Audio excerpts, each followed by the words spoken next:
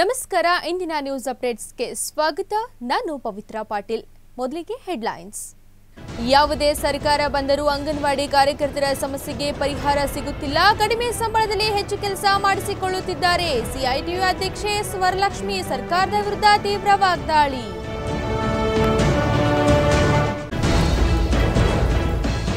ಕೃಷ್ಣರಾಜಸಾಗರಕ್ಕೆ ಪ್ರವಾಸಿಗರು ಆಗಮಿಸುವ ಹಿನ್ನೆಲೆ ಕೆಆರ್ಎಸ್ ಅಭಿವೃದ್ಧಿ ಕಾಮಗಾರಿಯ ಪರಿಶೀಲನೆ. ಕಾಮಗಾರಿ ಪೂರ್ಣಗೊಳ್ಳುವಂತೆ ಅಧಿಕಾರಿಗಳಿಗೆ ಸೂಚಿಸಿದ ಸಚಿವ ವಿ ಸೋಮಣ್ಣ.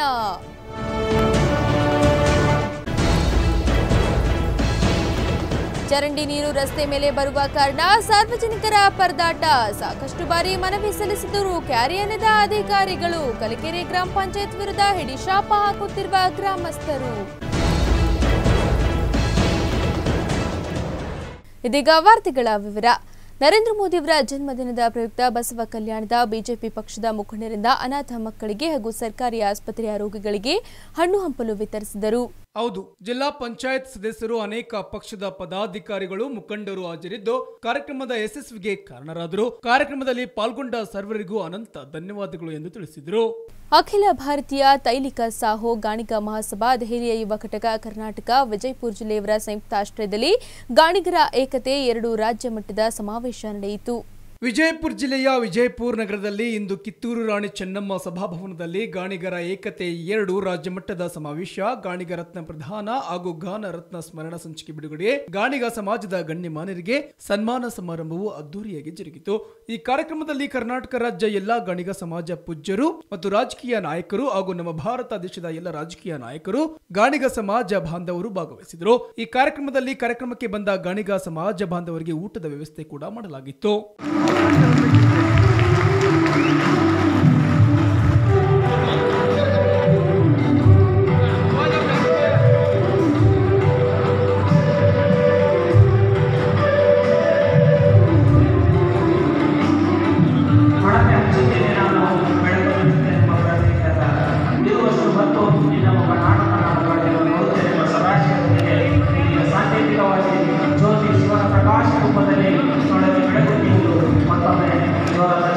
ಚಿಕ್ಕೋಡಿ ಸಂಸದ ಅಣ್ಣಾ ಸಾಹೇಬ್ ಜೊಲ್ಲೆ ಅವರು ಎಪ್ಪತ್ನಾಲ್ಕು ಫಲಾನುಭವಿಗಳಿಗೆ ಪ್ರಧಾನಮಂತ್ರಿ ಉಜ್ವಲ್ ಯೋಜನೆಯಡಿ ಮಂಜೂರಾದ ಉಚಿತ ಗ್ಯಾಸ್ ಕಿಟ್ಗಳನ್ನು ವಿತರಿಸಿದರು. ನಮ್ಮ ದೇಶದ ಪ್ರಧಾನಿಗಳಾದ ಮೋದಿಜಿ ಅವರ ಹುಟ್ಟುಹಬ್ಬದ ದಿನದಂದು ಮೋದಗ ಗ್ರಾಮಕ್ಕೆ ಬರುವುದು ನನ್ನ ಸೌಭಾಗ್ಯವೆಂದು ಹೇಳಿದರು. ಭಾವೇಶ್ವರಿ ಮಂದಿರಕ್ಕೆ ದಂಪತಿ ಸಮೇತ ಇನ್ನೊಮ್ಮೆ ಭೇಟಿಯಾಗುತ್ತೇನೆ ಎಂದರು. ನನ್ನನ್ನು ಸಂಸತ್ತಿಗೆ ಆಯ್ಕೆ ಮಾಡಿ ಕಳುಹಿಸಿದ ತಮ್ಮೆಲ್ಲರಿಗೂ ಧನ್ಯವಾದ ತಿಳಿಸಿದರು. ಈ ಹಿಂದೆ ಗ್ಯಾಸ್ ಕಿಟ್ ಪಡೆದುಕೊಳ್ಳಬೇಕಾದರೆ ಶಾಸಕರ, ಸಂಸದರ ಶಿಫಾರಸು ಪಡೆಯಬೇಕಾಗುತ್ತಿತ್ತು. ಆದರೆ ಈಗ ಮೋದಿಜಿಯವರ ಆಡಳಿತ ಬಂದಾಗಿಂದ ದೇಶದ ಬಡ ಕುಟುಂಬಗಳಿಗೆ ಉಚಿತ ಗ್ಯಾಸ್ಗಳನ್ನು ನೀಡುತ್ತಿದ್ದಾರೆ. ದೇಶದ ಹಿಂದಿನ ಸರ್ಕಾರದ ಆಡಳಿತದಲ್ಲಿ ಹತ್ತು ಕೋಟಿ ಗ್ಯಾಸ್ ಗ್ರಾಹಕರು ಹೊಂದಿದ್ದು, ಅದರಲ್ಲಿ ಮೂರು ಕೋಟಿ ನಕಲಿ ಗ್ರಾಹಕರಿದ್ದಿದ್ದು ಕಂಡುಹಿಡಿದು ಮತ್ತು ಸಬ್ಸಿಡಿ ಹಣ ಗ್ರಾಹಕರಿಗೆ ನೀಡದೆ ಗ್ಯಾಸ್ ಏಜೆನ್ಸಿಗಳು ಇದರ ಲಾಭ ಪಡೆದುಕೊಳ್ಳುತ್ತಿದ್ದಾರೆ ಎಂದರು. ಮೋದಿಜಿ ಅವರು ದೇಶದ ಉಳ್ಳ ಜನರಿಗೆ ಗ್ಯಾಸ್ ಸಬ್ಸಿಡಿ ಹಣವನ್ನ ಟ್ವಿಟ್ ಮಾಡುವಂತೆ ಕರೆ ನೀಡಿದ್ರು. ಅದಕ್ಕೆ ಕೋಟ್ಯಾಂತರ ಜನ ಸ್ಪಂದಿಸಿದ ಕಾರಣ ಇಂದು ಸುಮಾರು ಎಂಟು ಕೋಟಿಗೂ ಮಿಕ್ಕಿ ಉಚಿತ ಗ್ಯಾಸ್ಗಳನ್ನು ನೀಡಲು ಸಾಧ್ಯವಾಗಿದೆ ಎಂದು ಹೇಳಿದರು. ಮಂಡ್ಯ ಜಿಲ್ಲೆಯ ನಾಗಮಂಗಲ ಬಿಜಿ ನಗರದಲ್ಲಿ ಮೂವತ್ತೊಂದನೇ ರಾಜ್ಯಮಟ್ಟದ ಆರೋಗ್ಯ ಸಮ್ಮೇಳನ ನಡೆಯಿತು. ಮೂವತ್ತೊಂದನೇ ರಾಜ್ಯ ಮಟ್ಟದ ಸಮುದಾಯ ಆರೋಗ್ಯ ಸಮ್ಮೇಳನವನ್ನ ಹಾಸನ ಜಿಲ್ಲೆಯ ಚನ್ನರಾಯಪಟ್ಟಣದ ಸಮೀಪದ ಒಂದೇ ಮಾತರಂ ಸೇವಾ ಟ್ರಸ್ಟ್ ಸಂಸ್ಥಾಪಕರಾದ ವಿಜಯ್ ನಾಗಣ್ಣ ಹಾಗೂ ಜಯಂ ನಾಗಣ್ಣರವರಿಗೆ ಉತ್ತಮ ಜೀವನ ನಿರ್ವಹಣೆಗಾಗಿ ಮತ್ತು ಕಳೆದ ಹತ್ತು ವರ್ಷಗಳಿಂದ ಅವರು ಮಾಡುತ್ತಿರುವ ಸಾರ್ವಜನಿಕ ಸೇವೆಯನ್ನು ಗುರುತಿಸಿ ಶ್ರೀ ಆದಿ ಚುಂಚನಗಿರಿ ಮಹಾ ಸಂಸ್ಥಾನ ಮಠದ ಶ್ರೀ ನಿರ್ಮಲಾನಂದನಾಥ ಸ್ವಾಮೀಜಿ ಅವರು ಸಮುದಾಯ ಆರೋಗ್ಯ ಸೇವಾ ಪ್ರಶಸ್ತಿ ನೀಡಿ ಸನ್ಮಾನಿಸಿದರು. ಈ ವೇಳೆ ಶ್ರೀ ಆದಿ ಚುಂಚನಗಿರಿ ಮಹಾವಿದ್ಯಾಲಯದ ಡಾಕ್ಟರ್ ಚಂದ್ರಶೇಖರ್ ಶೆಟ್ಟಿ, ಮಣಿಪಾಲ್ ವಿಶ್ವವಿದ್ಯಾಲಯದ ಕುಲಪತಿಗಳಾದ doctor Vinod Bhat professor K Bhyrappa doctor MG Shivaram doctor Basavaraj M Ingalageri ಮುಂತಾದವರು ವೇದಿಕೆ ಮೇಲೆ ಉಪಸ್ಥಿತರಿದ್ದರು. ನಿಪ್ಪಾಣಿ ನಗರದಲ್ಲಿ ಸಂತ ರೋಹಿದಾಸ ಮಹಾರಾಜರ ಸ್ಮರಣಾರ್ಥ ನಿರ್ಮಿಸಲಾದ ಕಮಾನ್ ಲೋಕಾರ್ಪಣೆ ಮಾಡಲಾಯಿತು. ನಿಪ್ಪಾಣಿ ನಗರದಲ್ಲಿ ಸಂತ ರೋಹಿದಾಸ್ ಮಹಾರಾಜರ ಸ್ಮರಣಾರ್ಥ ನಿರ್ಮಿಸಲಾದ ಕಮಾನ್ ಲೋಕಾರ್ಪಣೆ ಕಾರ್ಯದಲ್ಲಿ ಮಹಿಳಾ ಮತ್ತು ಮಕ್ಕಳ ಕಲ್ಯಾಣ ಇಲಾಖೆಯ ಸಚಿವರಾದ ಶಶಿಕಲಾ ಜೊಲ್ಲೆಯವರು ಹಾಗೂ ಚಿಕ್ಕೋಡಿ ಸಂಸದರಾದ ಅಣ್ಣಾಸಾಹೇಬ್ ಜೊಲ್ಲೆಯವರು ಭಾಗವಹಿಸಿ ಕಾರ್ಯಕ್ರಮ ನೆರವೇರಿಸಿದರು. ಸಮಾಜದ ಬಂಧುಗಳ ಜೊತೆ ಕ್ಷಣ ಕಾಲ ಕಳೆದು ಅವರ ಉಭಯ ಕುಶಲೋಪರಿ ವಿಚಾರಿಸಿದರು ಈ ಸಂದರ್ಭದಲ್ಲಿ ಸಮಾಜದ ಪ್ರಮುಖರು ಹಾಗೂ ಕಾರ್ಯಕರ್ತರು ಹಾಜರಿದ್ದರು. ಯಾವುದೇ ಸರ್ಕಾರ ಬಂದರೂ ಅಂಗನವಾಡಿ ಕಾರ್ಯಕರ್ತರ ಸಮಸ್ಯೆಗೆ ಪರಿಹಾರ ಸಿಗುತ್ತಿಲ್ಲ. ಕಡಿಮೆ ಸಂಬಳದಲ್ಲಿ ಹೆಚ್ಚು ಕೆಲಸ ಮಾಡಿಸಿಕೊಳ್ಳುತ್ತಿರುವ ಸರ್ಕಾರ ಸಮಸ್ಯೆಗೆ ಸ್ಪಂದಿಸದಿದ್ದರೆ ಪ್ರತಿಭಟನೆಗೆ ಸಿದ್ಧ ಎಂದು ಸಿಐಟಿಯು ಅಧ್ಯಕ್ಷೆ ಸ್ವರಲಕ್ಷ್ಮಿ ಸರ್ಕಾರದ ವಿರುದ್ಧ ತೀವ್ರ ವಾಗ್ದಾಳಿ ನಡೆಸಿದರು. ಬೆಳಗಾವಿ ನಗರದ ಚವಾಟ್ ಗಲ್ಲಿಯಲ್ಲಿ ಹಮ್ಮಿಕೊಂಡಿದ್ದ ಸುದ್ದಿಗೋಷ್ಠಿಯಲ್ಲಿ ಮಾತನಾಡಿದ ಅವರು, ಕೇಂದ್ರ ಸರ್ಕಾರದ ಅಂಗನವಾಡಿ ಕಾರ್ಯಕರ್ತರಿಗೆ ಹೆಚ್ಚುವರಿಯಾಗಿ ಒಂದು ಸಾವಿರದ ಐದುನೂರು ರೂಪಾಯಿ ನೀಡಲು ಆದೇಶ ನೀಡಿದೆ. ಆದರೆ ಕರ್ನಾಟಕದಲ್ಲಿ ಒಂದು ವರ್ಷ ಆದರೂ ರಾಜ್ಯ ಸರ್ಕಾರ ಹೆಚ್ಚುವರಿ ಹಣ ಕೊಡಲು ಹಿಂದೇಟು ಹಾಕುತ್ತಿದೆ. ಅಂಗನವಾಡಿ ಕಾರ್ಯಕರ್ತೆಯರಿಂದ ಹೆಚ್ಚು ಕೆಲಸ ತಗೋತಾರೆ. ಆದರೆ ಮೂರು ನಾಲ್ಕು ತಿಂಗಳಾದರೂ ಸಂಬಳ ನೀಡುತ್ತಿಲ್ಲ. ನಮ್ಮ ರಾಜ್ಯದಲ್ಲಿ ಮೂರ್ನಾಲ್ಕು ತಿಂಗಳಿಗೊಮ್ಮೆ ಸರ್ಕಾರ ಬದಲಾಗುತ್ತಾ ಇರುತ್ತದೆ. ಈಗಿರೋ ಸರ್ಕಾರ ಆದರೂ ಬೇರೆಯವರಿಗೆ ಅವಕಾಶ ನೀಡದೆ ಜನರ ಸಂಕಷ್ಟಗಳಿಗೆ ಸ್ಪಂದನೆ ನೀಡಲಿ ಮತ್ತು ಒಳ್ಳೆಯ ಯೋಜನೆ ನೀಡಲಿ ಎಂದು ಕೇಂದ್ರ ತನ್ನದೇ ಆದ ನೀತಿಗಳ ಅನುಸರಣೆ ಮಾಡುತ್ತಿದೆ. ಐಸಿಡಿಸಿಗೆ ಹೆಚ್ಚಿನ ಹಣ ನೀಡಿ ಅಂಗನವಾಡಿ ಕಾರ್ಯಕರ್ತೆಯರ ಸಮಸ್ಯೆಯನ್ನು ಆಲಿಸಲಿ ಎಂದರು. ಈ ಸಂದರ್ಭದಲ್ಲಿ ರಾಜ್ಯ ಪ್ರಧಾನ ಕಾರ್ಯದರ್ಶಿ H H Sunanda, GM ಜೈನೆ Khan, ಸಿಐಟಿ ಯುನ ಜಿಲ್ಲಾ ಕಾರ್ಯದರ್ಶಿ ದೊಡ್ಡವ್ವ ಪೂಜಾರಿ ಹಾಗೂ ಅಂಗನವಾಡಿ ಕಾರ್ಯಕರ್ತೆಯರು ಉಪಸ್ಥಿತರಿದ್ದರು. ಈ ಎರಡು ಸ್ಕೀಮನ್ನು ಹೆಚ್ಚುವರಿಯಾಗಿ ಅವರು ಘೋಷಣೆಯನ್ನು ಮಾಡಿದ್ದಾರೆ. ಮತ್ತು ಈ ಎರಡು ಸ್ಕೀಮ್ಗಳನ್ನು ಲಾಂಚ್ ಮಾಡಲಿಕ್ಕೆ ಪಾರ್ಲಿಮೆಂಟ್ ಸದಸ್ಯರು, ಆಮೇಲೆ ಶಾಸಕರು ಮಿನಿಸ್ಟರ್ಗಳು ಇವರೆಲ್ಲ ಒಂದು ಡಿಫ್ರೆಂಟ್ ಪ್ರೋಗ್ರಾಮ್ಸ್ ಅನ್ನ ಅಂಗನವಾಡಿ ಕೇಂದ್ರಗಳಲ್ಲಿ ಹೋಗಿ ಲಾಂಚ್ ಮಾಡ್ತಾ ಇದ್ದಾರೆ. ಮತ್ತೆ ನಿಮ್ಮನ್ನು ಕೂಡ ಅದಕ್ಕೆ ಉಪಯೋಗ ಮಾಡ್ತಾ ಇದ್ದಾರೆ. ಅದ್ರ ಬಗ್ಗೆ ನಮಗೇನು ತಕರಾರಿಲ್ಲ. ಆದರೆ ಅಟ್ ಎ ಸೇಮ್ ಟೈಮ್ ಆ ಕಾರ್ಯಕ್ರಮಗಳನ್ನ ಲಾಂಚ್ ಮಾಡಲಿಕ್ಕೆ ಬೇಕಾದಂತ ಅನುದಾನಗಳನ್ನ ಬಿಡುಗಡೆ ಮಾಡಬೇಕಾ ಬೇಡವಾ ಇದು ನಂಬರ್ ಒನ್ ಪ್ರಶ್ನೆ. ಜೊಲ್ಲೆ ಉದ್ಯೋಗ ಸಮೂಹದ ಆಡಳಿತ ಕಚೇರಿಯಲ್ಲಿ Shri Beereshwara co credit society ಶಾಖಾ ವ್ಯವಸ್ಥಾಪಕರಿಗಾಗಿ ಆಯೋಜಿಸಿದ್ದ ಎರಡು ದಿನಗಳ ತರಬೇತಿ ಶಿಬಿರವನ್ನ ಬಸವ ಪ್ರಸಾದ್ ಜೊಲ್ಲೆ ಅವರು ಉದ್ಘಾಟಿಸಿದರು. ಹೌದು, ಇಂದು ಜೊಲ್ಲೆ ಉದ್ಯೋಗ ಸಮೂಹದ ಆಡಳಿತ ಕಚೇರಿಯಲ್ಲಿ ಶ್ರೀ ಬೀರೇಶ್ವರ ಕೋ ಕ್ರೆಡಿಟ್ ಸೊಸೈಟಿಯ ಶಾಖಾ ವ್ಯವಸ್ಥಾಪಕರಾಗಿ ಆಯೋಜಿಸಿದ ಎರಡು ದಿನಗಳ ಟಾಟಾ ಎಐಎ ಲೈಫ್ ಇನ್ಶೂರೆನ್ಸ್ನ ತರಬೇತಿ ಶಿಬಿರವನ್ನ ಬಸವ ಜ್ಯೋತಿ ಯೂತ್ ಫೌಂಡೇಶನ್ ಅಧ್ಯಕ್ಷರಾದ ಬಸವ ಪ್ರಸಾದ್ ಜೊಲ್ಲೆ ಅವರು ಉದ್ಘಾಟಿಸಿದರು. ಈ ವೇಳೆ ಟಾಟಾ ಎಐಎ ಲೈಫ್ ಇನ್ಶೂರೆನ್ಸ್ನ ಬೆಳಗಾವಿ, ಇದರ ಶಾಖಾ ವ್ಯವಸ್ಥಾಪಕರಾದ ಅನಂತ್ನಾಗ್ ಶಾನ್ಬಾಗ್ ಅವರು ತರಬೇತಿ ನೀಡಿದರು. ಈ ಸಂದರ್ಭದಲ್ಲಿ ಸಂಸ್ಥೆಯ ಪದಾಧಿಕಾರಿಗಳು ಶಾಖಾ ವ್ಯವಸ್ಥಾಪಕರು ಹಾಜರಿದ್ದರು. ಜಮ್ಮು ಮತ್ತು ಕಾಶ್ಮೀರದ ಆರ್ಟಿಕಲ್ ಮುನ್ನೂರ ಎಪ್ಪತ್ತು ರದ್ದತಿ ಕುರಿತಾಗಿ ಜನರಲ್ಲಿ ಜಾಗೃತಿ ಮೂಡಿಸುವ ನಿಟ್ಟಿನಲ್ಲಿ ನಗರದ ಅಂಗಡಿ ತಾಂತ್ರಿಕ ಮಹಾವಿದ್ಯಾಲಯದಲ್ಲಿ ಸೆಪ್ಟೆಂಬರ್ ಇಪ್ಪತ್ತರಂದು ರಾಷ್ಟ್ರೀಯ ಏಕತಾ ದಿವಸ ಏರ್ಪಡಿಸಲಾಗಿದೆ ಎಂದು ಬಿಜೆಪಿ ಮುಖಂಡ ಎಂಬಿ ಜಿರ್ಲಿ ಮಾಹಿತಿ ನೀಡಿದ್ದಾರೆ. ಬೆಳಗಾವಿ ನಗರದ ಪ್ರವಾಸಿ ಮಂದಿರದಲ್ಲಿ ನಡೆದ ಸುದ್ದಿಗೋಷ್ಠಿಯಲ್ಲಿ ಮಾತನಾಡಿದ ನ್ಯಾಯವಾದಿ ಹಾಗೂ ಬಿಜೆಪಿ ಸಹ ಸಂಘಟನಾ ಕಾರ್ಯದರ್ಶಿ ಜಿರ್ಲಿ, ದೇಶದಲ್ಲಿ ಹೊಸ ಬದಲಾವಣೆ ಬಂದಿದೆ. ಸ್ವಾತಂತ್ರ್ಯ ನಂತರದಲ್ಲಿ ಜಮ್ಮು ಕಾಶ್ಮೀರಕ್ಕೆ ಸ್ವಾತಂತ್ರ್ಯ ನೀಡುವ ಕೆಲಸ ನರೇಂದ್ರ ಮೋದಿ ಮಾಡಿದ್ದು ಜಮ್ಮು ಕಾಶ್ಮೀರದ ಮುನ್ನೂರ ಎಪ್ಪತ್ತು ಕಲಂ ರದ್ದು ಮಾಡಿದ್ದು, ಇದರಿಂದ ದೇಶದಲ್ಲಿ ಯಾವ ರೀತಿಯಲ್ಲಿ ಒಳ್ಳೆಯದಾಗಿದೆ ಎಂದು ತಿಳಿಸುವ ಉದ್ದೇಶದಿಂದ ರಾಷ್ಟ್ರೀಯ ಏಕತಾ ದಿವಸ್ ಕಾರ್ಯಕ್ರಮ ಆಯೋಜನೆ ಮಾಡಲಾಗುತ್ತಿದೆ ಎಂದರು. ಅಂಗಡಿ ತಾಂತ್ರಿಕ ಮಹಾವಿದ್ಯಾಲಯದಲ್ಲಿ ಮೇ ಇಪ್ಪತ್ತರಂದು ಸಂಜೆ ನಾಲ್ಕು ಗಂಟೆಗೆ ಬಿಜೆಪಿ ನಗರ ಘಟಕ ವತಿಯಿಂದ ಆಯೋಜನೆ ಮಾಡಲಾಗಿದ್ದು, ಕಾರ್ಯಕ್ರಮದ ಮುಖ್ಯ ಅತಿಥಿಗಳಾಗಿ ಬಿಜೆಪಿ ಸಂಸದ ತೇಜಸ್ವಿ ಸೂರ್ಯ ಭಾಗವಹಿಸಲಿದ್ದಾರೆ ಎಂದು ಜಿರ್ಲಿ ಮಾಹಿತಿ ನೀಡಿದರು. ದೇಶಕ್ಕೆ ಒಂದೇ ಸಂವಿಧಾನ. ಈ ದೇಶಕ್ಕೆ ಒಬ್ಬರೇ ಪ್ರಧಾನಿ. ಈ ದೇಶಕ್ಕೆ ಒಂದೇ ಧ್ವಜ ಅನ್ನುವಂಥ ಚಿಂತನೆಗೆ ಒಂದು ಇಂಟಿಗ್ರೇಟೆಡ್ ಇಂಡಿಯಾ ಒಂದು ಭಾವನೆಯನ್ನು ಮೂಡಿಸಿದಂಥದ್ದು banning and lifting and abrogating article three seventy of the Indian constitution ಮತ್ತೆ ಈ ಆರ್ಟಿಕಲ್ ತ್ರೀ ಸೆವೆಂಟಿ ಅಂದರೆ ಏನು? ಆರ್ಟಿಕಲ್ ಥರ್ಟಿ ಫೈವ್ ಎ ಅಂದರೆ ಏನು? ಈ lifting up article three seventy ಅಂದರೆ ಏನು? ಇದರಿಂದ ದೇಶಕ್ಕೆ ಏನು ಉಪಯೋಗ ಆಗ್ತಾ ಇದೆ? ಮತ್ತು ಜಮ್ಮು ಆ್ಯಂಡ್ ಕಾಶ್ಮೀರ್ ಮತ್ತು ಲದ್ದಾಖಕ್ಕೆ ಏನು ಉಪಯೋಗ ಆಗುತ್ತೆ? ಅನ್ನೋದ್ರ ಬಗ್ಗೆ ಒಂದು ರಾಷ್ಟ್ರೀಯ ಅಭಿಯಾನವನ್ನು ಭಾರತೀಯ ಜನತಾ ಪಾರ್ಟಿ ದೇಶದ ಸುರಕ್ಷತೆಯ ದೃಷ್ಟಿಯಿಂದ, ಏಕತೆಯ ದೃಷ್ಟಿಯಿಂದ, ಪ್ರತಿಯೊಬ್ಬ ನಾಗರಿಕರು ಇದರ ಬಗ್ಗೆ ತಿಳಿದುಕೊಳ್ಬೇಕು ಅನ್ನುವಂಥ ಒಂದು ದೃಷ್ಟಿಕೋನದಿಂದ ಈ ಅಭಿಯಾನವನ್ನು ಭಾರತೀಯ ಜನತಾ ಪಾರ್ಟಿ ರಾಷ್ಟ್ರ ಮಟ್ಟದಲ್ಲಿ ಚಿಕ್ಕೋಡಿ ಲೋಕಸಭಾ ಸಂಸದ ಅಣ್ಣಾ ಸಾಹೇಬ್ ಜೊಲ್ಲೆ ಅವರು ಮೋರ್ನಹಳ್ಳಿ ಗ್ರಾಮದ ಲಕ್ಷ್ಮೀ ಮಂದಿರದ ಆವರಣದಲ್ಲಿ ಎಪ್ಪತ್ತೊಂಬತ್ತು ಫಲಾನುಭವಿಗಳಿಗೆ ಪ್ರಧಾನಮಂತ್ರಿ ಉಜ್ವಲ ಯೋಜನೆಯಡಿ ಮಂಜೂರಾದ ಉಚಿತ ಗ್ಯಾಸ್ ಕಿಟ್ಗಳನ್ನು ವಿತರಿಸಿದರು ದೇಶದ ಪ್ರಧಾನಿಗಳಾದ ಮೋದಿಜಿ ಅವರ ಹುಟ್ಟುಹಬ್ಬದ ದಿನದಂದು ಈ ಗ್ರಾಮಕ್ಕೆ ಬರುವುದು ನನ್ನ ಸೌಭಾಗ್ಯವೆಂದು ನನ್ನನ್ನು ಸಂಸ್ಥೆಗೆ ಆಯ್ಕೆ ಮಾಡಿ ಕಳುಹಿಸಿದ ತಮ್ಮೆಲ್ಲರಿಗೂ ಧನ್ಯವಾದಗಳನ್ನು ಸಲ್ಲಿಸಿದರು. ಈ ಹಿಂದೆ ಗ್ಯಾಸ್ ಕಿಟ್ ಪಡೆದುಕೊಳ್ಳಬೇಕಾದರೆ ಶಾಸಕರ ಸಂಸದರ ಶಿಫಾರಸು ಪಡೆಯಬೇಕಾಗುತ್ತಿತ್ತು. ಆದರೆ ಈಗ ಮೋದಿಜಿಯವರ ಆಡಳಿತ ಬಂದಾಗಿಂದ ದೇಶದ ಬಡ ಕುಟುಂಬಗಳಿಗೆ ಉಚಿತ ಗ್ಯಾಸ್ಗಳನ್ನು ನೀಡುತ್ತಿದ್ದಾರೆ ದೇಶದ ಇಂದಿನ ಸರ್ಕಾರದ ಆಡಳಿತದಲ್ಲಿ ಹತ್ತು ಕೋಟಿ ಗ್ಯಾಸ್ ಗ್ರಾಹಕರು ಹೊಂದಿದ್ದು, ಅದರಲ್ಲಿ ಮೂರು ಕೋಟಿ ನಕಲಿ ಗ್ರಾಹಕರಿದ್ದಿದ್ದು ಕಂಡುಹಿಡಿದು ಮತ್ತು ಸಬ್ಸಿಡಿ ಹಣ ಗ್ರಾಹಕರಿಗೆ ನೀಡದೆ ಗ್ಯಾಸ್ ಏಜೆನ್ಸಿಗಳು ಇದರ ಲಾಭ ಪಡೆದುಕೊಳ್ಳುತ್ತಿದ್ದರು ಈ ಸಂದರ್ಭದಲ್ಲಿ ಚಿಕ್ಕೋಡಿ ಜಿಲ್ಲಾ ಬಿಜೆಪಿ ಅಧ್ಯಕ್ಷರಾದ ಶಶಿಕಾಂತ್ ನಾಯಕ್, ಈ ಭಾಗದ ಯುವ ನಾಯಕರಾದ ಮಾರುತಿ ಅಷ್ಟಗಿ, ರವಿ ರೆಮೆಟ್ ರವಿ ಅಂಜಿ, ಪಂಚಾಯತ್ ಅಧ್ಯಕ್ಷರು, ಪಕ್ಷದ ಪದಾಧಿಕಾರಿಗಳು, ಕಾರ್ಯಕರ್ತರು, ಫಲಾನುಭವಿಗಳು ಹಾಗೂ ಗ್ರಾಮಸ್ಥರು ಹಾಜರಿದ್ದರು. ಬೆಂಗಳೂರಿನಲ್ಲಿ ಸಾಹಸ ಸಿಂಹ ಡಾಕ್ಟರ್ ವಿಷ್ಣುವರ್ಧನ್ ಅವರ ಜನ್ಮ ದಿನಾಚರಣೆಯನ್ನ ಕರ್ನಾಟಕ ಸಂಘಟನೆಗಳ ಒಕ್ಕೂಟ ಅದ್ದೂರಿಯಾಗಿ ವಿಜೃಂಭಣೆಯಿಂದ ಆಚರಿಸಿದರು. ಡಾಕ್ಟರ್ ವಿಷ್ಣುವರ್ಧನ್ ಅಭಿಮಾನಿಗಳ ಸಂಘದ ವತಿಯಿಂದ ವೆಂಕಟೇಶ್ ಬಿ. ಬಸವರಾಜ್ ಮಾಜಿ ನಗರಸಭಾ ಸದಸ್ಯರು ಕೃಷ್ಣೇಗೌಡರ ಉಪಸ್ಥಿತಿಯಲ್ಲಿ ಬನಶಂಕರಿಯಲ್ಲಿ ಅಭಿನವ ಭಾರ್ಗವ ಹೃದಯವಂತ ಡಾಕ್ಟರ್ ವಿಷ್ಣುವರ್ಧನ್ ರವರ ಜನ್ಮ ದಿನೋತ್ಸವವನ್ನು ಆಚರಿಸಿದಂತಹ ಸಂದರ್ಭ. ಕಾಸಾ ಓದ ಅಧ್ಯಕ್ಷರು ಕನ್ನಡ ಚಳವಳಿ ನಾಗೇಶ್ ಅವರ ನೇತೃತ್ವದಲ್ಲಿ ಒಕ್ಕೂಟದ ಪದಾಧಿಕಾರಿಗಳು ವಿವಿಧ ಜಿಲ್ಲಾ ತಾಲೂಕುಗಳಲ್ಲಿ ಅಭಿನವ ಭಾರ್ಗವ ಸಹ ಹೃದಯವಂತ ಸಾಹಸ ಸಿಂಹ ಡಾಕ್ಟರ್ ವಿಷ್ಣುವರ್ಧನ್ ರವರ ಅರವತ್ತೊಂಬತ್ತನೇ ಜನ್ಮ ದಿನೋತ್ಸವವನ್ನು ಸಂಭ್ರಮದಿಂದ ಆಚರಣೆ ಮಾಡಿದರು. ಮಂಡ್ಯ ನಾಗಮಂಗಲದ ಎಸ್ಎಸಿ ಕಾಲೇಜಿನಲ್ಲಿ ರಕ್ತದಾನದ ಮಹತ್ವ ಎಂಬ ವಿಷಯದ ಮೇಲೆ ಚರ್ಚಾ ಸ್ಪರ್ಧೆ ಏರ್ಪಡಿಸಲಾಗಿತ್ತು. ಈ ಸ್ಪರ್ಧೆಯಲ್ಲಿ ಸರ್ಕಾರಿ ಪ್ರಥಮ ದರ್ಜೆ ಕಾಲೇಜು ನಾಗಮಂಗಲ, ಈ ಕಾಲೇಜಿನ ವಿದ್ಯಾರ್ಥಿಗಳಾದ ಚಂದನ್ ಗೌಡ ಎಚ್ ಬಿ ದ್ವಿತೀಯ ಬಿಎ, ಚರ್ಚಾ ಸ್ಪರ್ಧೆಯಲ್ಲಿ ಪ್ರಥಮ ಬಹುಮಾನವನ್ನ ಹಾಗೂ ದಿನೇಶ್ ಎಂ ವಿ ದ್ವಿತೀಯ ಬಿಕಾಂ ತೃತೀಯ ಬಹುಮಾನವನ್ನ ಪಡೆದಿರುತ್ತಾರೆ. ಹಾಗೂ ಮಂಡ್ಯದಲ್ಲಿ ಮಹಿಳಾ ಕಾಲೇಜಿನಲ್ಲಿ ನಡೆದ ಅಂತರ್ ಕಾಲೇಜು ಸಾಂಸ್ಕೃತಿಕ ಚಟುವಟಿಕೆಗಳ ಕಾರ್ಯಕ್ರಮದಲ್ಲಿ ಸರ್ಕಾರಿ ಪ್ರಥಮ ದರ್ಜೆ ಕಾಲೇಜು ನಾಗಮಂಗಲ, ಈ ಕಾಲೇಜಿನ ವಿದ್ಯಾರ್ಥಿಗಳು ಭಾಗವಹಿಸಿ ಅದರಲ್ಲಿ ಚೈತ್ರ ದ್ವಿತೀಯ ಬಿಬಿಎಂ ವಿದ್ಯಾರ್ಥಿನಿಯು ಭಾವಗೀತೆಯಲ್ಲಿ ಪ್ರಥಮ ಸ್ಥಾನವನ್ನ ಹಾಗೂ ಲವಕುಮಾರ್ ತೃತೀಯ ಬಿಎ ವಿದ್ಯಾರ್ಥಿಯು ಜನಪದ ಗೀತೆ ಸ್ಪರ್ಧೆಯಲ್ಲಿ ದ್ವಿತೀಯ ಸ್ಥಾನವನ್ನ ಪಡೆದಿರುತ್ತಾರೆ. ಮಂಡ್ಯ ಜಿಲ್ಲೆಯ ಕೃಷ್ಣರಾಜಪೇಟೆ ಪಟ್ಟಣದ ವಿವಿಧ ಬಡಾವಣೆಗಳ ಅಂಗಡಿ ಮುಂಗಟ್ಟುಗಳಿಗೆ ತಂಬಾಕು ನಿಯಂತ್ರಣ ಪ್ರಾಧಿಕಾರದ ವತಿಯಿಂದ ದಾಳಿ ನಡೆಸಿದರು ಸಾರ್ವಜನಿಕ ಸ್ಥಳಗಳಲ್ಲಿ ಧೂಮಪಾನ ಮಾಡುತ್ತಿದ್ದ ಸಾರ್ವಜನಿಕರಿಗೆ ಜಿಲ್ಲಾ ತಂಬಾಕು ಉತ್ಪನ್ನಗಳ ನಿಯಂತ್ರಣ ಪ್ರಾಧಿಕಾರದ ಸಂಚಾಲಕ ತಿಮ್ಮರಾಜು, ತಾಲೆಯ ಆರೋಗ್ಯಾಧಿಕಾರಿ ಡಾಕ್ಟರ್ ಎಚ್ ಟಿ ಹರೀಶ್ ಮತ್ತು ಪಟ್ಟಣ ಪೊಲೀಸ್ ಠಾಣೆಯ ಎಎಸ್ಐ ಶಿವಣ್ಣ ನೇತೃತ್ವದ ಅಧಿಕಾರಿಗಳ ತಂಡವು ದಾಳಿ ನಡೆಸಿ ಕೆಲವರಿಗೆ ದಂಡ ವಿಧಿಸಿದರೆ ಮತ್ತೆ ಕೆಲವರಿಗೆ ಎಚ್ಚರಿಕೆ ನೋಟಿಸ್ ನೀಡಿತು. ತಂಬಾಕು ಉತ್ಪನ್ನಗಳ ಬಳಕೆಯಿಂದ ವಾರ್ಷಿಕ ಎಪ್ಪತ್ತು ಲಕ್ಷಕ್ಕೂ ಅಧಿಕ ಜನರು ಭಾರತ ದೇಶದಲ್ಲಿಯೇ ಅಕಾಲಿಕವಾಗಿ ಮೃತರಾಗುತ್ತಿದ್ದಾರೆ. ವಿಶ್ವದಾದ್ಯಂತ ಪ್ರತಿದಿನವೂ ಎರಡೂವರೆ ಸಾವಿರಕ್ಕೂ ಹೆಚ್ಚು ಜನರು ತಂಬಾಕಿಗೆ ಬಲಿಯಾಗುತ್ತಿದ್ದಾರೆ. ಸಾರ್ವಜನಿಕ ಸ್ಥಳಗಳಲ್ಲಿ ಧೂಮಪಾನ ಮಾಡುವುದು ಅಪರಾಧವಾಗಿದೆ ಶಾಲಾ ಆವರಣದಿಂದ ನೂರು ಮೀಟರ್ ವ್ಯಾಪ್ತಿಯ ಅಂಗಡಿಗಳಲ್ಲಿ ತಂಬಾಕು ಉತ್ಪನ್ನಗಳು ಹಾಗೂ ಬೀಡಿ ಸಿಗರೇಟ್ಗಳನ್ನು ಮಾರಾಟ ಮಾಡಬಾರದು. ಅಂಗಡಿ ಮುಂಗಟ್ಟುಗಳಲ್ಲಿ ತಂಬಾಕು ಉತ್ಪನ್ನಗಳ ಮಾರಾಟವು ಅಪರಾಧವಾಗಿದೆ ಅಲ್ಲದೆ ಶಿಕ್ಷಾರ್ಹವಾಗಿದೆ.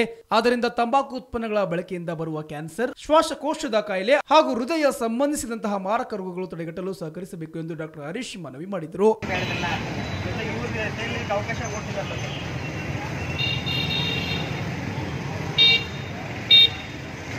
ನೋಡಿ ಇದು ಮಿನಿಮಮ್ ಹೋಗ್ತಾ ನೆಕ್ಸ್ಟ್ ಪ್ರತಿ ವಾರ ಬರ್ತೀವಿ. ತೊಂದರೆ ಆಗುತ್ತೆ ನಿಮಗೆ.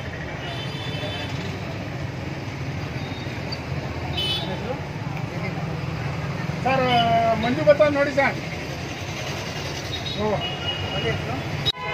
by violation Victoria warning ಇಲ್ಲ. ಅಲ್ಬರ್ಟ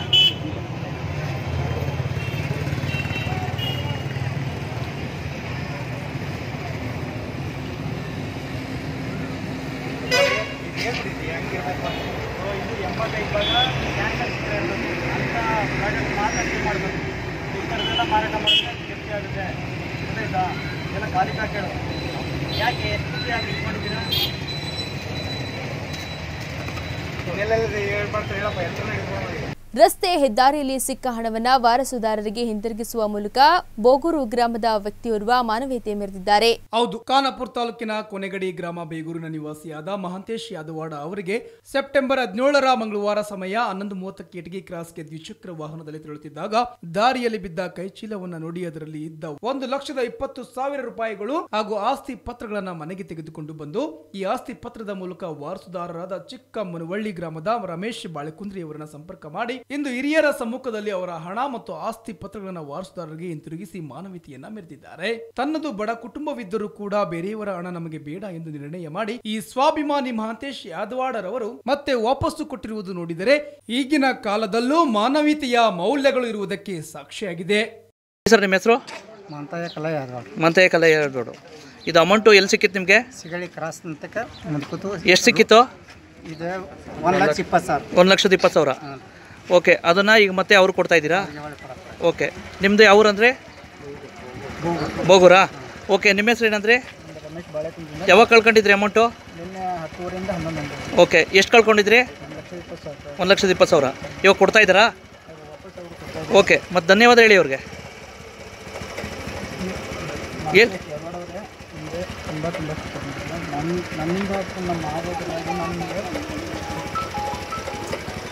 ಓಕೆ. ಬಾಗಲಕೋಟೆ ಜಿಲ್ಲೆಯ ಜಮಖಂಡಿ ತಾಲೂಕಿನ ಮುತ್ತೂರು ಗ್ರಾಮದಲ್ಲಿ ವಿಶ್ವಕರ್ಮ ಜಯಂತಿ ಆಚರಣೆ ಮಾಡಲಾಯಿತು. ಮುತ್ತೂರಿನ ಗ್ರಾಮ ಪಂಚಾಯತಿಯ ಕ್ಲರ್ಕ್ ಆದಂತಹ ಅಪ್ಪಣ್ಣ ಇಪ್ಪರ್ಗೆ ಅವರು ಬೆಳಗ್ಗೆ ಒಂಬತ್ತು ಗಂಟೆಗೆ ವಿಶ್ವಕರ್ಮ ಭಾವಚಿತ್ರಕ್ಕೆ ಪೂಜೆ ಸಲ್ಲಿಸಿ, ನಂತರ ಮುತ್ತೂರಿನ ಕನ್ನಡ ಹಿರಿಯ ಪ್ರಾಥಮಿಕ ಶಾಲೆಯಲ್ಲಿ ಕೂಡ ವಿಶ್ವಕರ್ಮದ ಉಪಾಧ್ಯಕ್ಷರಾದಂತಹ ಚಂದ್ರಕಾಂತ್ ಬಡಗೇರ್ ಅವರ ಭಾವಚಿತ್ರಕ್ಕೆ ಪೂಜೆ ಸಲ್ಲಿಸಿದರು. ಈ ಕಾರ್ಯಕ್ರಮದ ನಿರೂಪಣೆಯನ್ನ ಎಸ್ ಕಲ್ಯಾಣಿ ಗುರುಗಳು ನಡೆಸಿಕೊಟ್ರು. ವಿಶ್ವಕರ್ಮ ಅಧ್ಯಕ್ಷರಾದಂತಹ ಕಾಳಪ್ಪ ಬಡಗೇರ್ ಹಾಗೂ ಸರ್ಕಾರಿ ಹಿರಿಯ ಪ್ರಾಥಮಿಕ ಶಾಲೆಯ ಗುರುಗಳಾದ ಎಸ್ ಬಿ ಜಮಖಂಡಿ ಕಾರ್ಯಕ್ರಮವನ್ನು ಉದ್ದೇಶಿಸಿ ಮಾತನಾಡಿದರು. ಈ ಸಮಯದಲ್ಲಿ ಉಪಸ್ಥಿತರಿದ್ದವರು ವಿಶ್ವಕರ್ಮ ಅಧ್ಯಕ್ಷರಾದ ಕಾಳಪ್ಪ ಬಡಗೇರ್, ಉಪಾಧ್ಯಕ್ಷರಾದ ಚಂದ್ರಕಾಂತ್ ಬಡಗೇರ್ ಗಂಗಾಧರ್ ಸುತಾರ, ಆನಂದ್ ಬಡಗೇರ್, ಮುತ್ತಣ್ಣ ಪತ್ತಾರ್, ಶಿವಪುತ್ರ ಪತ್ತಾರ್, ಇರ್ಪಣ್ಣ ಬಡಗೇರ್ ಉಪಸ್ಥಿತರಿದ್ದರು. ನಮ್ಮ ಅಂತ ಈ ಕಡೆ ಕಡೆ, ನಾನೇ ನೋಡ್ತೀವಿ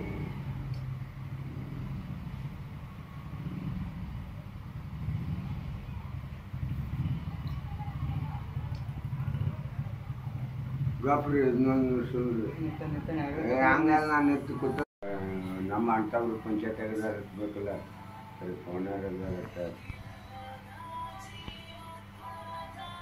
ಇರ್ಬೇಕಲ್ಲ ಸರಿ ಫೋನರ್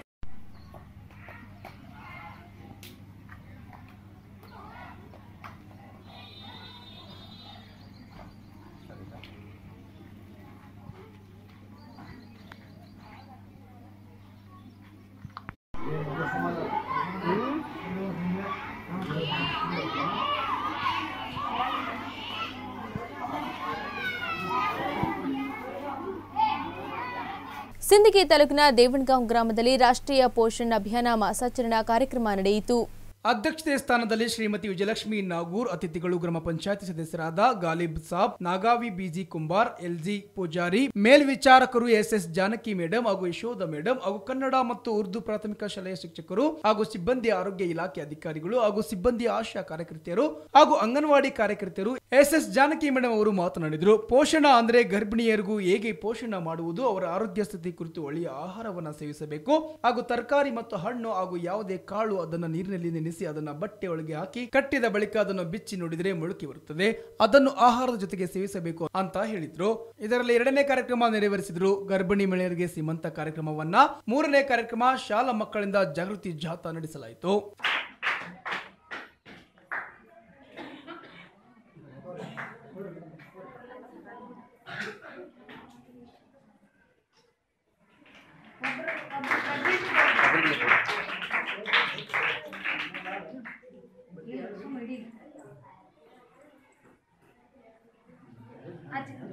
ಈ ರಾಷ್ಟ್ರೀಯ ಪೋಷಣ ಅಭಿಯಾನ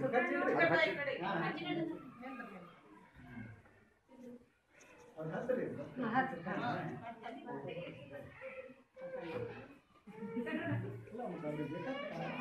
ಜ್ಯೋತಿ ಬೆಳಗಿಸುವ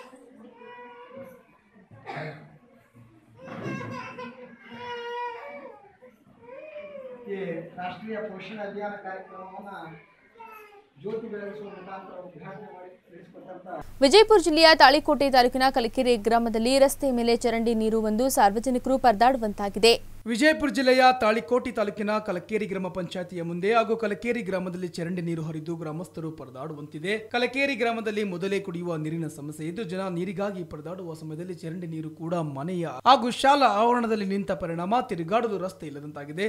ಈಗಲಾದರೂ ಮಾನ್ಯ ಜಿಲ್ಲಾ ಪಂಚಾಯತ್ ಅಧಿಕಾರಿ ಸಿಒ ಮತ್ತು ತಾಲೂಕು ಪಂಚಾಯತ್ ಅಧಿಕಾರಿಗಳು, ಇಒ ಮತ್ತು ಗ್ರಾಮ ಪಂಚಾಯತಿ ಅಭಿವೃದ್ಧಿ ಅಧಿಕಾರಿಗಳು ಕೂಡಲೇ ಕ್ರಮ ಜರುಗಿಸಬೇಕು ಎಂದು ಗ್ರಾಮಸ್ಥರು ಆಕ್ರೋಶ ವ್ಯಕ್ತಪಡಿಸಿದರು. ಮತ್ತು ಈಗ ಸದ ನೋಡಿದ್ರೆ? ಹಂದಿ ನಾಯಿ ಚರಂಡಿ ಮಾತ್ರ ಫುಲ್ ತುಂಬಿ ಹೋಗ್ಯದ ರಾಡಿ ಇದು ಆಗಿ ಅದು ತೆಗಿಯೋದು ಬೇಡ ಇಲ್ಲಿ ಹಂದಿಗಳು ತಿರುಗಾಡ್ತಾವೆ. ಇದು ಪಂಚಾಯತಿಗಳ ಹಾಲತ್ತು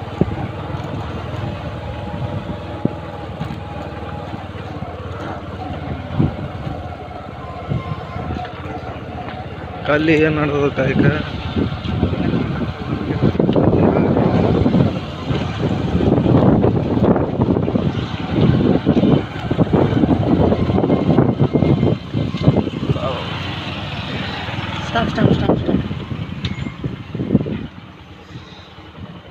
ಸ್ಕೂಲ್ ಇಲ್ಲ ಸ್ಕೂಲ್ ನಮ್ಮೂರ ಸರ್ಕಾರಿ ಕ್ರಮ ಹಿರಿಯ ಪ್ರಾಥಮಿಕ ಅಗಸಿ ಶಾಲೆ ನಂಬರ್ ಮೂರು Kalikeri zero three.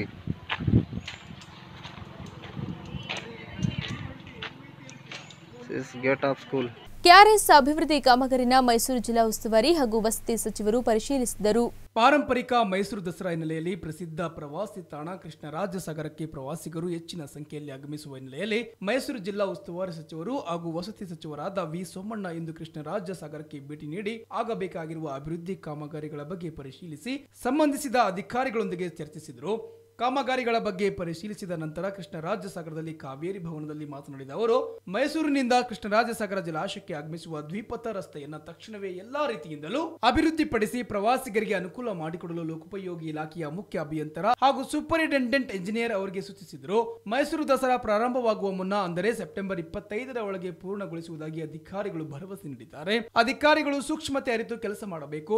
ಯುದ್ಧ ಕಾಲದಲ್ಲಿ ಶಸ್ತ್ರಾಭ್ಯಾಸ ಆಗಬಾರದು. ಈಗಲಾದರೂ ಎಚ್ಚೆತ್ತು ಉತ್ತಮ ರೀತಿಯಲ್ಲಿ ಅಭಿವೃದ್ಧಿ ಕೆಲಸ ಮಾಡಬೇಕು ಎಂದು ಅವರು ತಿಳಿಸಿದರು. ದಸರಾ ಉತ್ಸವಕ್ಕೆ ಆಗಮಿಸುವ ಪ್ರವಾಸಿಗರು ಎಚ್ ಕೃಷ್ಣ ರಾಜ್ಯ ಸಾಗರ ಜಲಾಶಯಕ್ಕೆ ಭೇಟಿ ನೀಡುವುದರಿಂದ ಕಾನೂನು ಸುವ್ಯವಸ್ಥೆ ಕಾಪಾಡಲು ಮೈಸೂರು ಹಾಗೂ ಮಂಡ್ಯ ಜಿಲ್ಲಾ ಪೊಲೀಸ್ ವರಿಷ್ಠ ಅಧಿಕಾರಿಗಳಿಗೆ ಸೂಚಿಸಿದ್ದು, ಸೆಪ್ಟೆಂಬರ್ ಇಪ್ಪತ್ತೊಂಬತ್ತರಿಂದ ಆರಂಭವಾಗುವ ನಾಡ ಹಬ್ಬ ಯಾವುದೇ ತೊಂದರೆಗಳಿಲ್ಲದೆ ನಿರ್ವಿಘ್ನವಾಗಿ ನಡೆಯಲಿದೆ ಎಂದು ತಿಳಿಸಿದರು. ದಸರಾ ಹಬ್ಬವು ಕೇವಲ ಮನೆ ಮನೆಯ ಹಬ್ಬವಾಗದೆ ನಾಡದೇವತೆಯ ಹಬ್ಬವಾಗಿ ಆಚರಿಸಲು ನಿರ್ಧರಿಸಲಾಗಿದೆ. ಶ್ರೀರಂಗಪಟ್ಟಣ ದಸರಾಕ್ಕೆ ಎರಡು ಪಾಯಿಂಟ್ ಹದಿನೈದು ಕೋಟಿ ಹಾಗೂ ಚಾಮರಾಜನಗರ ದಸರಾಕ್ಕೆ ಒಂದು ಪಾಯಿಂಟ್ ಹತ್ತು ಕೋಟಿ ರೂಪಾಯಿ ಬಿಡುಗಡೆ ಮಾಡಲಾಗಿದೆ ಎಂದರು. ಇದಕ್ಕೂ ಮುನ್ನ ನ ಪ್ರವೇಶ ದ್ವಾರದಲ್ಲಿ ನಿರ್ಮಿಸುತ್ತಿರುವ ನಾಲ್ವಡಿ ಕೃಷ್ಣರಾಜ ಒಡೆಯರ ಹಾಗೂ ಸರ್ ಎಂ ವಿಶ್ವೇಶ್ವರಯ್ಯ ಪ್ರತಿಮೆಗಳ ಕಾಮಗಾರಿಯನ್ನು ವೀಕ್ಷಿಸಿದರು. ಈ ಸಂದರ್ಭದಲ್ಲಿ ಮೇಲ್ಕೋಟೆ ವಿಧಾನಸಭಾ ಕ್ಷೇತ್ರದ ಶಾಸಕ ಸಿಎಸ್ ಪುಟ್ಟರಾಜು, ಜಿಲ್ಲಾಧಿಕಾರಿ ಡಾಕ್ಟರ್ ಎಂ ವಿ ವೆಂಕಟೇಶ್, ಜಿಲ್ಲಾ ಪೊಲೀಸ್ ವರಿಷ್ಠಾಧಿಕಾರಿ ಪರಶುರಾಮು ಹಾಗೂ ಜಿಲ್ಲಾ ಮಟ್ಟದ ಅಧಿಕಾರಿಗಳು ಉಪಸ್ಥಿತರಿದ್ದರು. ಮಕ್ಕಳಿಗೆ ಶಿಕ್ಷಣದ ಜೊತೆಗೆ ಧರ್ಮ, ಸಂಸ್ಕೃತಿ, ಪರಂಪರೆ ಬಗ್ಗೆ ಅರಿವು ಮೂಡಿಸುವುದು ತುಂಬಾ ಅವಶ್ಯಕವಾಗಿದೆ ಎಂದು ಶಾಖಾಪುರದ ಸಿದ್ದರಾಮ ಶಿವಾಚಾರ್ಯರು ಹೇಳಿದರು. ಹೌದು, ಚಿತ್ತಾಪುರ್ ತಾಲೂಕಿನ ತನುಸನಹಳ್ಳಿ ಟಿ ಗ್ರಾಮದ ಆರಾಧ್ಯ ದೈವ ಸಿದ್ದೇಶ್ವರ ಪಲ್ಲಕ್ಕಿ ಮಹೋತ್ಸವದ ನಿಮಿತ್ತ ಹಮ್ಮಿಕೊಳ್ಳಲಾಗಿದ್ದ ಧಾರ್ಮಿಕ ಸಭೆಯಲ್ಲಿ ಮಾತನಾಡಿದ ಅವರು, ಮನಸ್ಸು ಶುದ್ಧಿ ಮಾಡಿಕೊಳ್ಳಲು ಧಾರ್ಮಿಕ ಕಾರ್ಯಕ್ರಮಗಳು ತುಂಬಾ ಅವಶ್ಯಕ ಎಂದರು. ಸಿದ್ದೇಶ್ವರ ದೇವಸ್ಥಾನ ಸಮಿತಿಯ ಅಧ್ಯಕ್ಷ ಶರಣಗೌಡ ಮಾಲಿಪಾಟೀಲ್ ಮಾತನಾಡಿ, ಶ್ರಾವಣ ಮಾಸದ ಕೊನೆಯಲ್ಲಿ ಸಿದ್ದೇಶ್ವರ ಪಲ್ಲಕ್ಕಿ ಉತ್ಸವ ಇಂದಿನಿಂದ ಆಚರಿಸಲಾಗುತ್ತಿದೆ. ಹಿರಿಯರು ನಡೆಸಿಕೊಂಡ ಬಂದಿರುವಂತಹ ಪದ್ಧತಿಯನ್ನ ಇಂದಿಗೂ ಮುಂದುವರಿಸಿಕೊಂಡು ಬರುತ್ತಿದೆ ಎಂದರು. ಬೆಳಗ್ಗೆ ಹತ್ತು ಗಂಟೆಗೆ ಸಿದ್ದೇಶ್ವರ ದೇವಸ್ಥಾನದಿಂದ ಹೊರಟ ಪಲ್ಲಕ್ಕಿಯು ಡೊಳ್ಳು, ಹಲಗೆ ಸೇರಿದಂತೆ ವಿವಿಧ ಮಂಗಳ ವಾದ್ಯಗಳೊಂದಿಗೆ ಗ್ರಾಮದ ಪ್ರಮುಖ ಬೀದಿಗಳ ಮೂಲಕ ಸಂಚರಿಸಿ ರಾತ್ರಿ ಎಂಟು ಗಂಟೆಗೆ ಸಿದ್ದೇಶ್ವರ ದೇವಸ್ಥಾನ ತಲುಪಿತು.